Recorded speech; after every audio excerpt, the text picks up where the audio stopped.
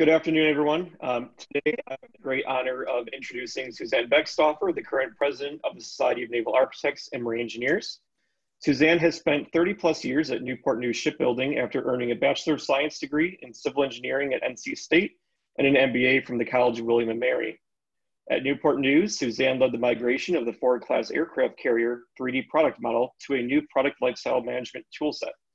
She directed Newport News Shipbuilding Research and Development, managed the installation of automated steel factory robotic cutting and welding lines, and performed engineering and design activities for aircraft carriers, submarines, and commercial vehicles. Since her retirement from Newport News Shipbuilding in 2016, Suzanne became the chairman of the board of Bayport, board of Bayport Credit Union and is now SNAME's first female president, truly making waves in the maritime industry. I have worked with Suzanne for several years in SNAME, and I can attest that Suzanne lives, eats, and breathes the maritime industry and is a huge advocate for students. It is my great pleasure to welcome my friend and mentor, Suzanne Beckstoffer. Well, James, thank you for that kind introduction. Um, it's, it's a pleasure to be here. And um, I'm really interested in hearing what's going on at Michigan. And I would also like to say thank you to Professor Jing Sun and also to Ms. Leslie Krasnewski for um, it, the kind invitation and also for their patience in getting all the, uh, the arrangements set up for this.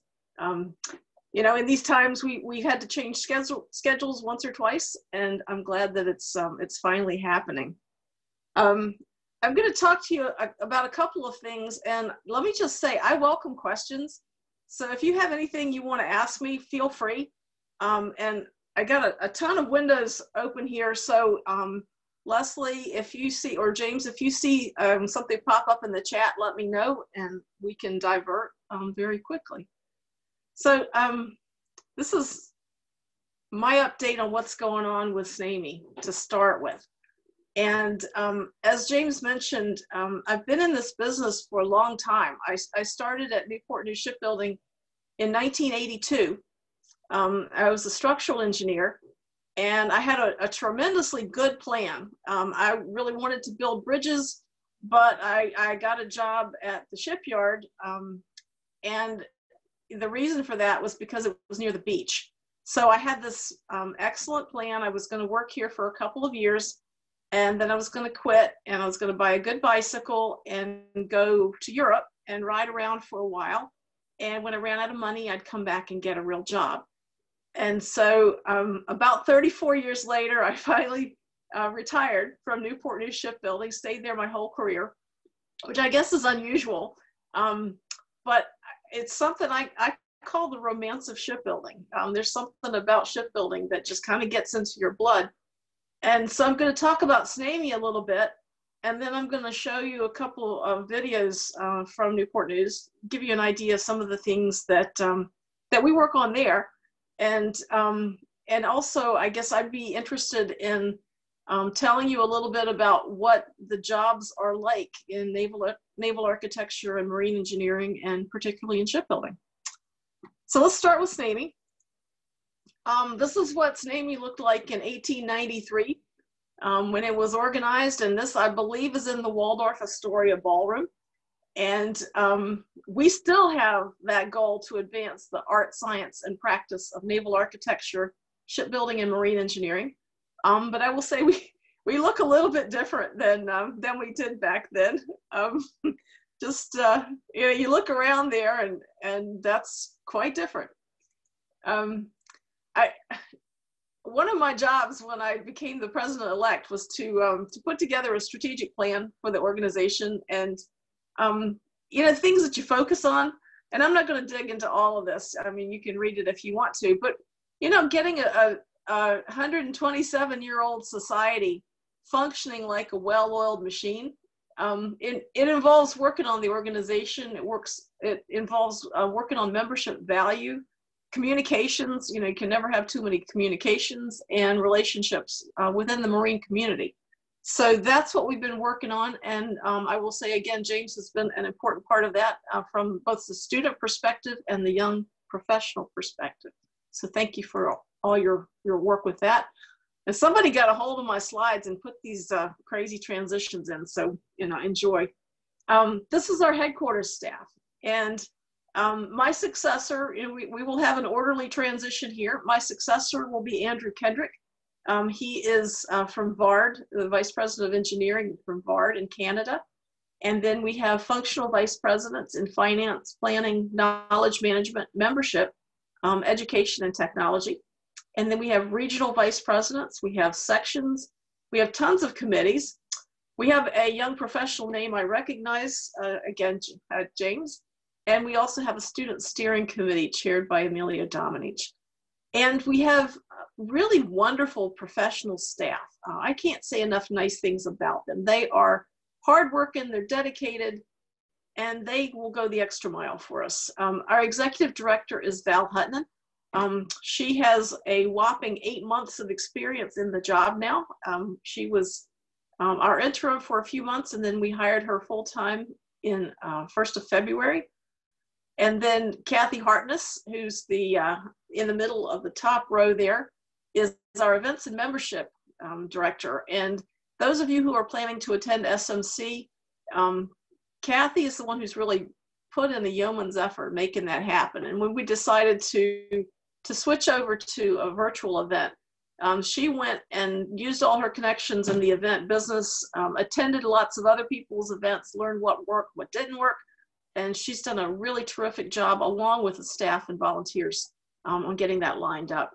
Um, Michael Ashman in finance, Cindy Sloan, who's our membership director, and Sophia Iliagramanu, who uh, runs our Europe office. Uh, she's our office director in Europe and also works on recognition, which is, um, is really important. And this is what volunteers look like. You see all these happy faces. We weren't able to meet um, in person this year. Uh, we did it virtually, but this is our SNAME Leadership um, Symposium. And this is where we get the section chairs from all over the world and our other volunteer leaders together um, to make our plans for the year.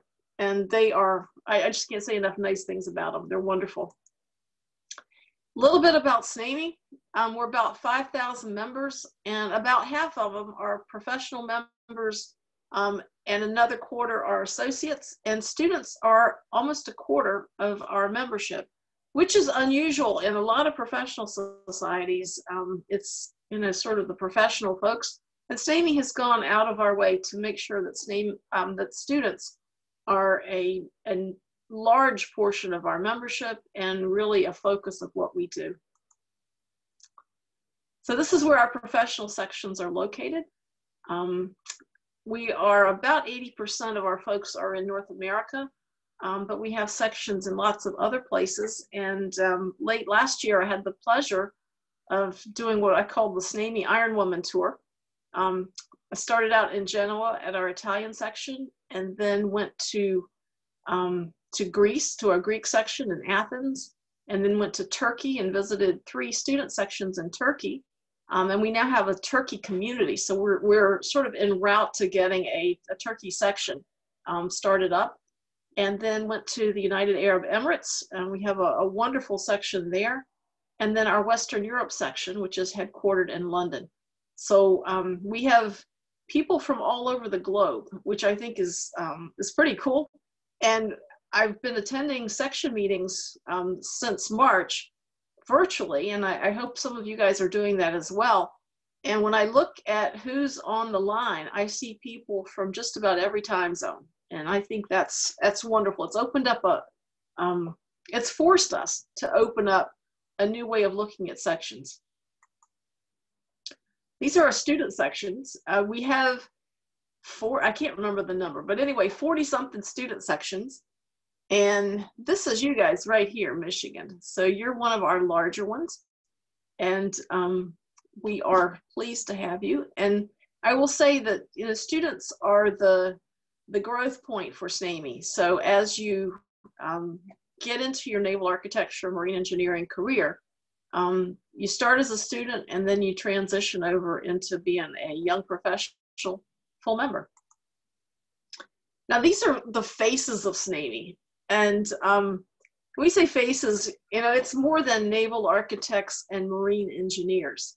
And so nearly half of the folks who are in SNAME identify as being engineers of some sort.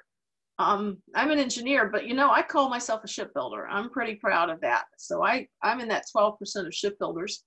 Uh, we have a lot of educators, a lot of professors, um, big chunk of students, and I don't know why that's 13%. So that must be old data because students are like 23% now.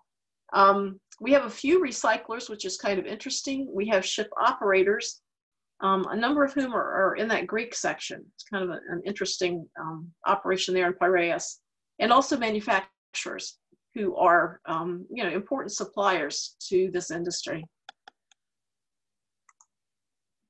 And our members, again, worldwide, um, about 80% are in North America, US and Canada. And this is kind of interesting. Um, upcoming events. The Technical and Research Program, TNR, um, is doing a wonderful series of, of uh, webinars on different research topics. And there's one coming up next week, um, September 29th. There was one that I went to on wind farms um, out of Western Europe this past week. Also, um, a, a, fascinating one, a fellow who has been in the yacht design business, Bruce Merrick. Um, his life is like a Jimmy Buffett song. And he has spent his entire career designing yachts of various sizes and shapes and sailing them around all over the place. And just a fascinating uh, life story. Um, I asked him, hey, what's your favorite boat that you've ever worked on? And he kind of grinned and, and smiled. He says, the next one. So, you know, I, I guess boat people are like that. They really are looking forward to the next, the next ship. Um, and also we had a, a something from the military naval ship design. Um, some folks uh, who call this the, uh, the Goldilocks effect, too little, too much, just right. Um, and that was a really neat one coming out of our Washington office. So I would encourage you, um, as you have time, you know, this the, the neat thing about virtual is you can attend a meeting anywhere virtually. And of course, the big virtual event coming up here is SMC 2020 and uh, starts next week. I'm really looking forward to it. And um, James and I were both on a call just a few minutes ago. Um, it's it's all set, and we've got fantastic keynotes, some really interesting panels, and 50 technical sessions, all of which are accredited for um, PE continuing education credits, which I think is just uh, pretty remarkable. And let me talk just a minute about TNR. Um, this is one of the jewels in SNAME's crown.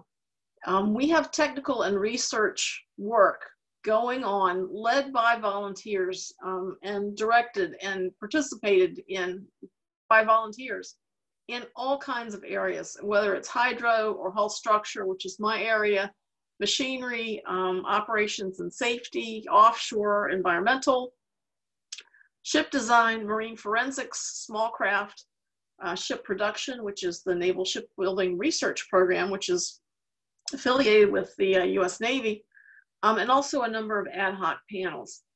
And um, if there is a topic in here that is of interest to you, and I realize this is kind of an eye chart, um, but if you're interested in expanding your knowledge, um, getting some mentors, um, or just learning more on a topic related to naval architecture, marine engineering, or anything to do with ships, I would encourage you to, um, to reach out to the committee chair or panel chair and, and get involved in TNR. Um, you know, this is a great way to increase your own professional knowledge. Um, and I mean, I gotta say, I think it would look great on a resume if I were if I were uh, looking at your resume. So take a take a look. And I see James is putting a PDF up. Thank you. Um, another thing that I think is important as you get into your professional career, recognition um, is just kind of the icing on the cake. And SNAME has a number of really preeminent awards um, and medals that we um, present each year. Um, normally they're presented at the banquet at the annual meeting at SMC. Um, this year they're being announced, of course, and the medals will be presented next year um, at next year's banquet. but we we recognize um, scientific accomplishment in ship research, naval architecture, marine engineering, ocean engineering. Um, we also have a Bowles Medal, which is one of the newest ones, and that's for early career achievement by a young professional. Um, and I, am really excited about that one. The, the folks who have um, who have earned that medal are really doing great things at a young age, and you can see that they're they're already superstars. And I'm excited about where they're going to go in their careers. Um, Kennedy Award um, for planning applied to shipbuilding repair. You know, that's one that several folks from my company have um, have received. And then student papers and the student design competition, the Lisnyk Award. Um, those are just good ways of of recognizing excellence. And I think that's one of the things that I've always been so proud about with SNAME is that we do recognize excellence. Um, and this is one of the things that we do. Um, for students, you know, scholarships, um, scholarships are pretty important, and we offer um, a large number of both undergraduate and graduate scholarships. Um, if that's something that is of interest to you, um, check the SNAME website. Um, you'll have the updated deadlines and information on the different scholarships that we offer. Um, but again, you know, we consider students a really important part of the SNAME organization. And um, scholarships are part of the way that we um, encourage our students who are just getting started in the business. Okay, now this is, you know, sort of the, all the, uh, the goodness of SNAME. Um, but I would, I would tell you these really are important. And there are a number of these that that kind of resonate with me. Um, networking is one of them. Um, when I started out at Newport News, and I was, you know, a dumb green little junior engineer, engineer one, and um, my boss, whose name was Curtis, informed me that I was going to join SNAME and I was going to be the House Committee Chair for the Hampton Roads section. And so I got voluntold, and I just said, okay, I guess I will and um, that was the beginning of my professional network. It was really kind of cool. I, um, had to work the door, take people's money, um, had to know everybody's name because you know I had to to make sure I knew who was was coming to the meetings, and um, it was kind of neat because the executives in our organization were members, and so um, out of that you know crowd of four or five thousand engineers president of the company knew who I was. Vice president of engineering knew who I was. You know, call me by name in the hall. That was kind of um, that was kind of cool. And so I I credit Curtis um, with giving me that opportunity to understand what networking was about and what that meant in my career. And um, as you get into your career, I will say that networking becomes even more important um, I was talking to a friend the other day. He's I, he's a fairly young professional. He's in his mid late 30s, and he said, "You know, my last three jobs I got through SNAME connections, and he's just started a new position. Um, great, great new opportunity." And he said, "You know, I reached out to somebody I knew through SNAME. We happened to bump into each other, and you know, here I am." Um, another friend of mine, four out of his five jobs in his career have come through SNAME connections. So it's not just um, getting that getting that first job when you're a senior, get ready to graduate. Um, does anybody here think that you're only going to have one job through your entire career? Um, I'm, I'm, guessing the answer would be no.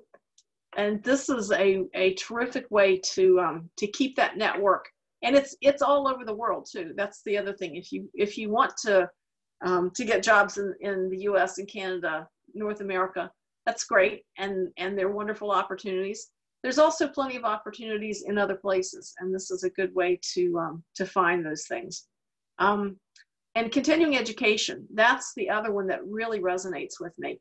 Um, when you graduate, your the half-life of your engineering degree um, is you know a few years and throughout your career you're going to need to stay current and this is a wonderful way to do it.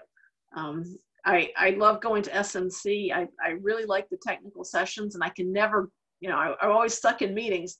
And this year I'm so excited because I get to see all 50 of them. And if I can't go when it's live, then I, it's recorded and I'm going to be there and I'm going to, I'm going to watch all 50 of them.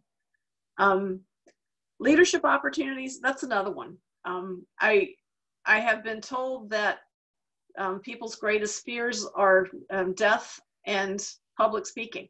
So, um, you know, if you want an opportunity to be a leader in a low risk area, um, practice your public speaking, practice um, organizing, there's leadership opportunities and they abound in SNAME. Um, and finally, publishing.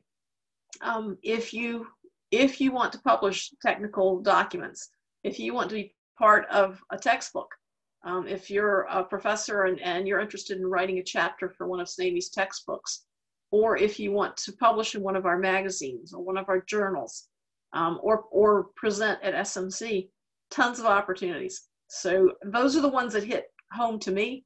There's plenty of others here that, you know, that might uh, tickle your fancy as well.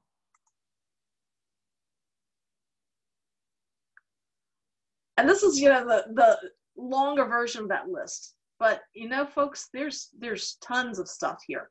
And um, when I pay my SNAME dues, actually usually I pay mine and my husband's together.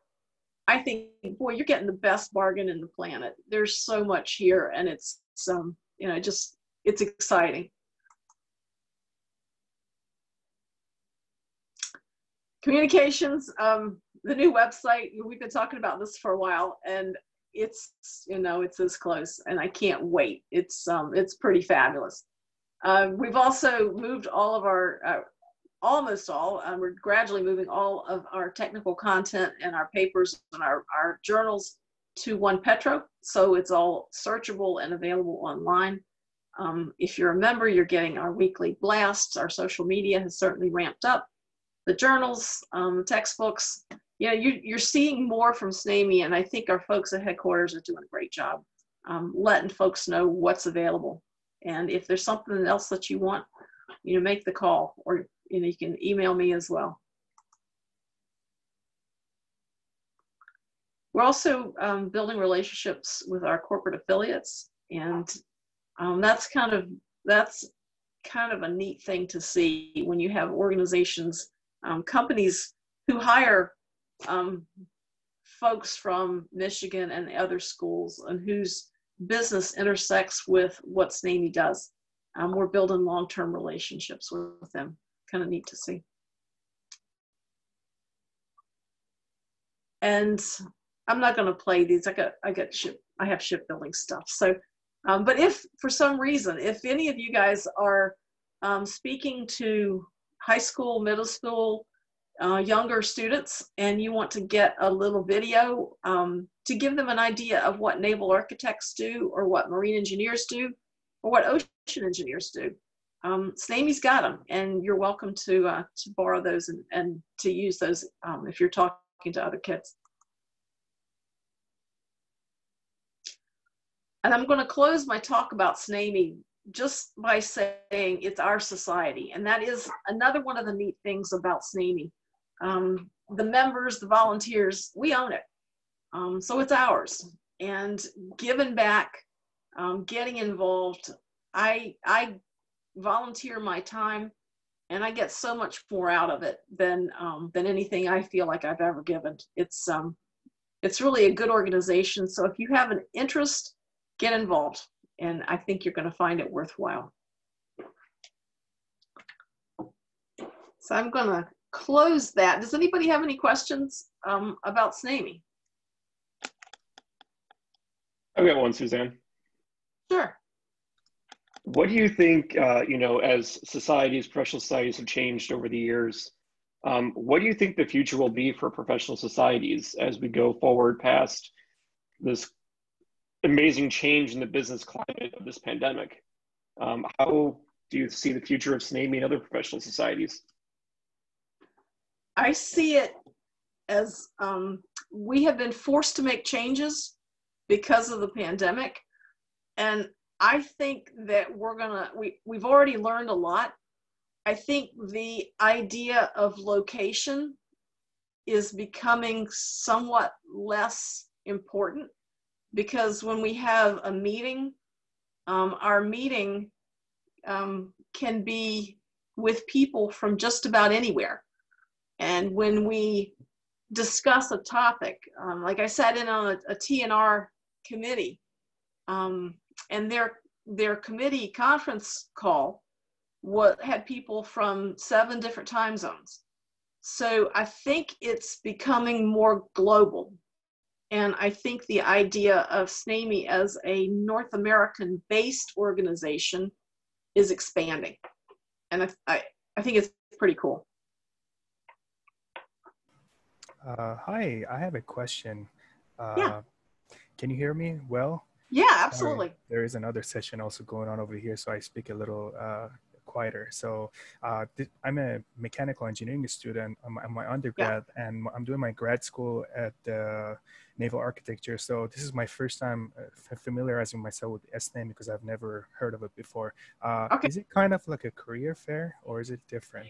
Like you know, career fair, like you get to know different companies and you get to like kind of interview with them at first. Yeah. Uh, is it SNAME just like that, or it's a little different? That's one component. So at our convention, SMC, next mm-hmm. week, there is an actual career fair. And there are companies who will be represented there, and they will be meeting, um, I think, individually with students who want to interview with them. And so that is one component of it. Um, SNAME also has a a site, a, a career section on our website. So companies that um, want to post job openings can also post job openings there. And then there's also the thing I mentioned, the networking. You know, oftentimes that's how you find jobs, quite frankly, is is talking with people. Yes. Um, yeah, one one of my um, I call them my mentos, um, but young lady that I had been mentoring was so wise. She says, "I like talking to people because that's how you get jobs." Yeah. yeah. So there's all that, and then there's also section meetings and uh, technical webinars and textbooks and all these other activities but the specifically yeah there's the, the career fair there's career job postings and there's that all important networking so the SNAME that is happening between September 29th to October 2nd, is that mm-hmm. the career fair one or is that the yes. networking? Yes.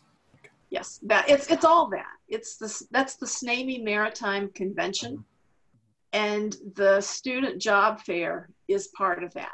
It's part of that. Okay. Yeah yeah wonderful thank you so much appreciate absolutely. it absolutely my pleasure welcome to uh, welcome to the business thank you any other questions uh yeah so you had mentioned some about getting involved in the tnr committees and so i was wondering what kind of specific roles a student could play on them well it depends what level you're um, what level you're at um, the some of them are related to new technology. Um, so there, there's some new ones in uh, related to underwater noise, um, digital twins. Um, let me see, hydro structures, uh, ship design. So all kinds of different topics. And if there's one where you already have some expertise, you know, you can contribute. You can also join and and learn. Um, and i would i would encourage you if there's a topic that maybe you want that relates to a class that you're taking you know that might be another opportunity. Or if you want to to go do some research working with that committee you know all kinds of opportunities and okay. if if there's an area that you think is interesting um, if you go on the SNAME site and look under technical, the contacts for all the TNR committees and then the individual panels are all on there. And if you have any trouble at all, just uh, send me a message. All right. Yeah. Thank you. You're welcome.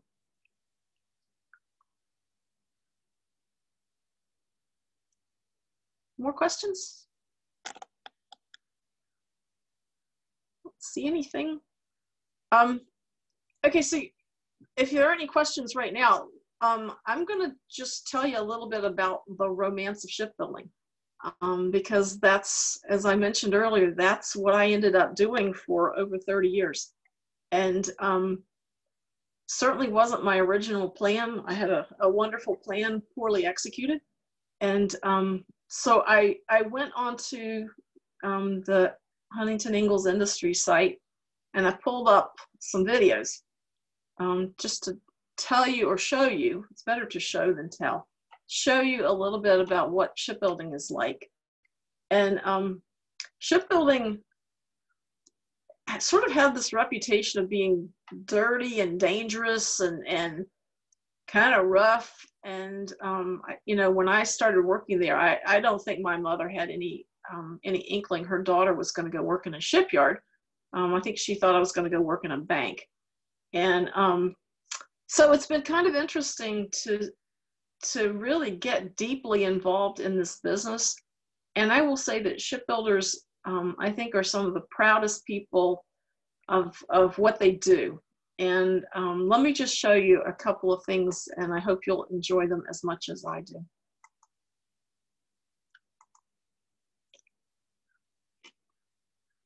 This is, this is what shipbuilding looks like. It's, yeah, there's steel banging, which um, what I do, that was virtual painting. Every time I see steel, of course, I get excited because that's what I did. Um, but it's very, very technically advanced. And um, there are unmanned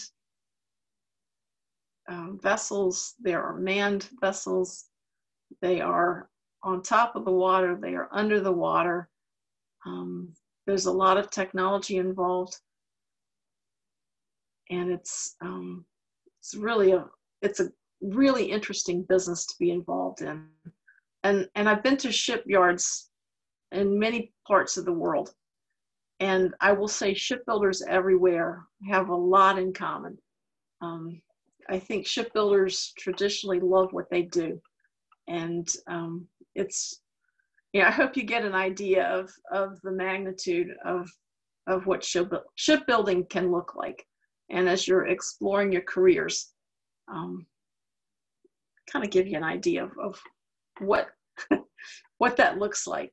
And there's, you know, this goes all the way back to the Phoenicians, um, that the tradition of uh, breaking a bottle of champagne or pouring water on the bow of a ship to wet it. Uh, we still do that. So there's thousands of years of history, and um, it's really a great business to be involved in. So I hope you'll consider that. And um, as I said, I'm going to throw in some of Suzanne's free advice. Um, as you're as you're going through your student years, take the opportunity to um, get involved, get your summer intern internships in, go explore different places, um, find things that, um, explore things um, on a sort of a temporary basis. If you can work there for a summer or if you can be a co-op and find out, you know, all the, the wide breadth of careers in naval architecture, marine engineering, other maritime fields, and find the one that's really the good fit for you. Okay, so let's see, I'm gonna show you a little bit of precision now. This is the upper bow lift for CVN 79. There you go. John F. Kennedy. It's um, next aircraft carrier under construction. And any, if any of you guys are into Legos, this is like Legos, except way better. And this is the um, thousand ton crane lifting the upper bow for the Kennedy and setting it into place.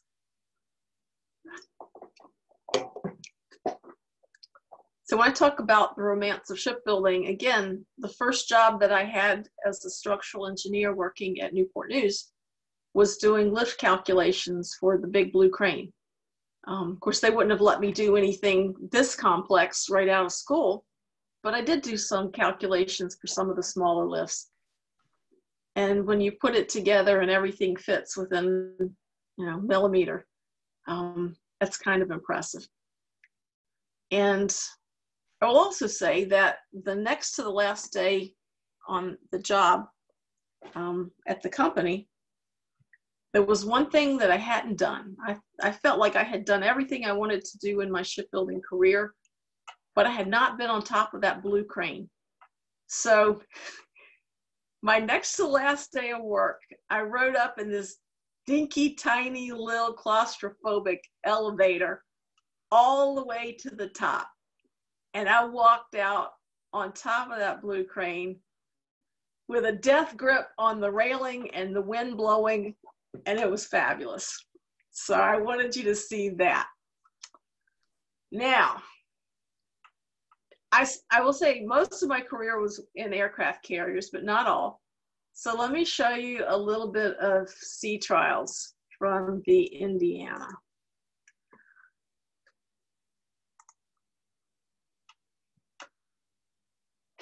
You get to see this pretty green James River water. And when you launch a submarine, you know, this is the silent service, and we send her out on sea trials. And um, just get an idea of what that's like. First time the ship goes out with the crew and shipyard employees and the Navy um, couple, and the admirals along. And the,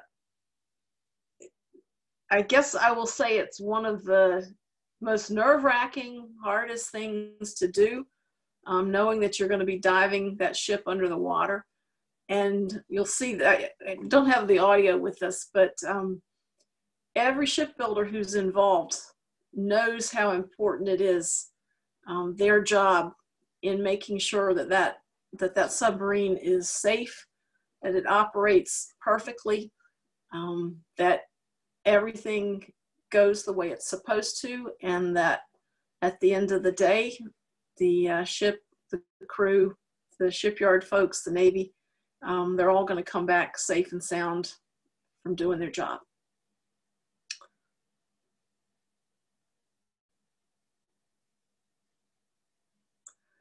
And when this is over, I I got a reminder um, this morning. I was reading the newspaper. I, I still read a local newspaper, and um, there was a reminder about a ship called the Thresher. And on April the 10th, 1963, um, the Thresher, which was a nuclear powered submarine, went down. Um, all 129 men aboard were lost during a test dive. And um, I'll just show you this. Every year, on April the 10th, I would play for myself and my staff the, uh, the audio recording of the thresher crushing at depth. And that was a reminder every year that what we do is so important and that people's lives are relying on us doing a good job. So when when I say that shipbuilders are proud, they are proud and they have a reason to be, and they also have to be careful. And so, as you're preparing for your careers as shipbuilders or whatever else you do, um, do know that the folks who sail in the ships that you help create are relying on you to do your job right. And I think I will close with one more, and this is my my favorite. Um, when an aircraft carrier is, is being constructed, of course, one of the, the major jobs of an aircraft carrier is to launch and recover aircraft.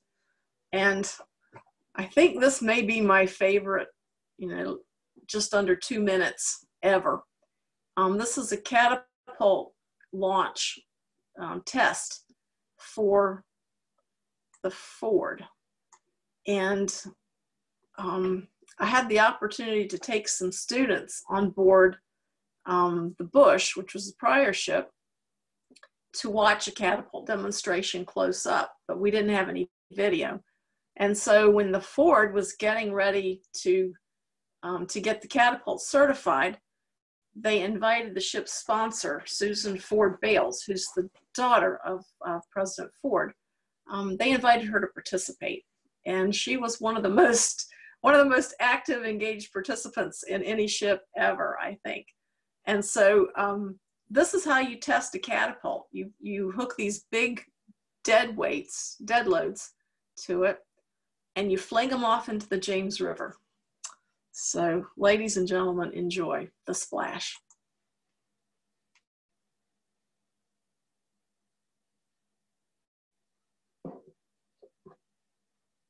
There she is, ship sponsor.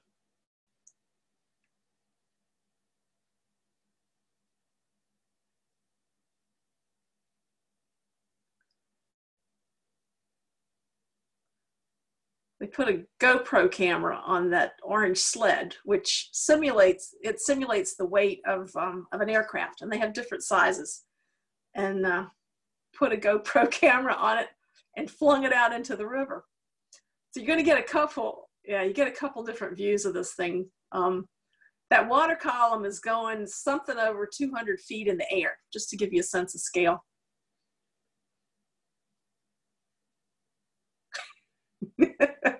Isn't that awesome? Were you ever present for that in person? I was not present for this one. Um, I was looking out the window and I saw some other ones.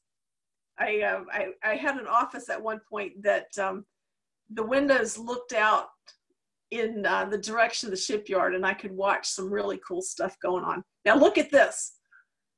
That's what is happening when you, that explains why you got all those crazy views from the camera.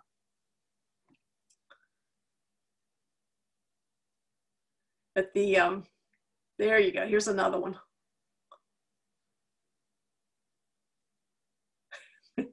these, these sleds float and they, uh, they'll send a tug out to, to catch it and tow it back in. Um,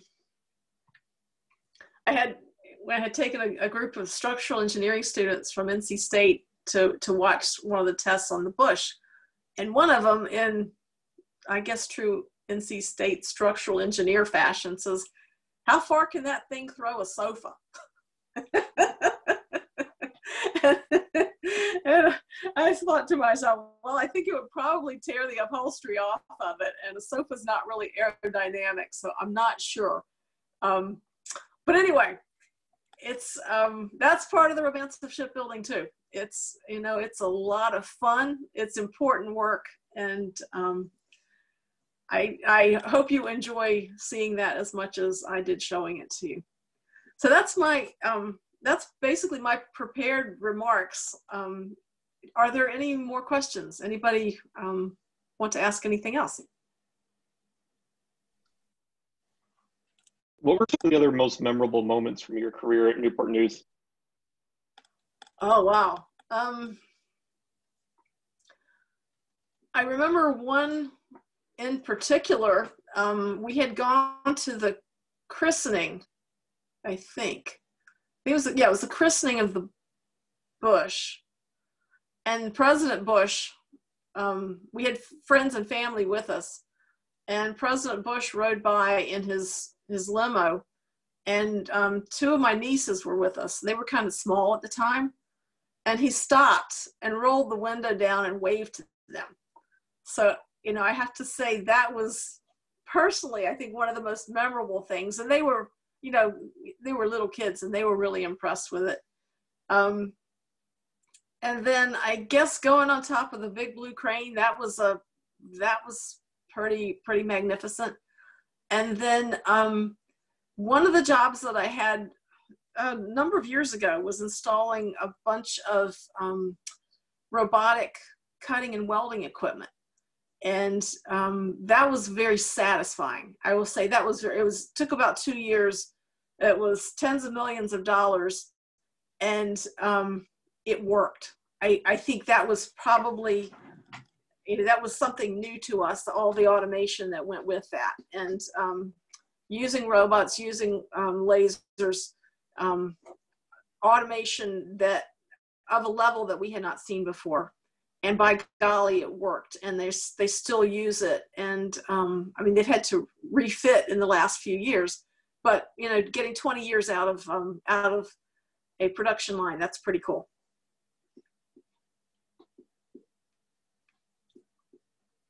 Any other questions?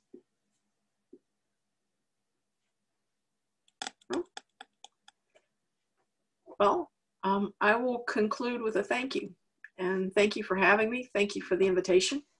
I hope to see a lot of you at SMC next week.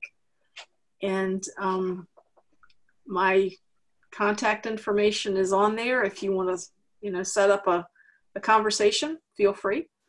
And um, I look forward to seeing you there. Thanks for having me. Thank you, Suzanne. Thank you. Thank you. Thank you, Susan. Thank you. Susan, actually, when I uh, just uh, I tried to ask a question, and I realized that my mic uh, was muted. Sorry about that. I was going to ask you, you know, as a first, uh, I mean, the uh, SNAME history as a first woman president.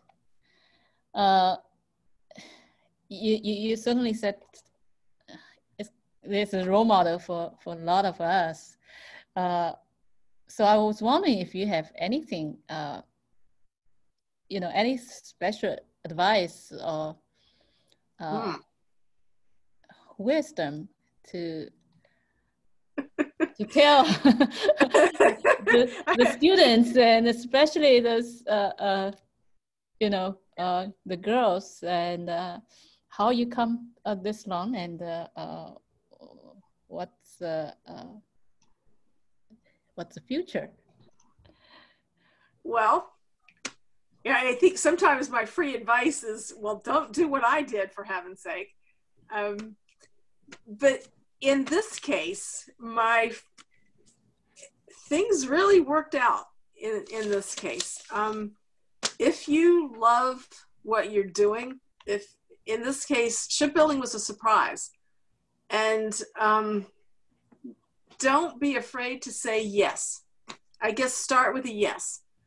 And I think back to the opportunities that popped up that really were not part of my plan. Just, you know, I, I have these wonderful plans in my head, and then I'll get a surprise.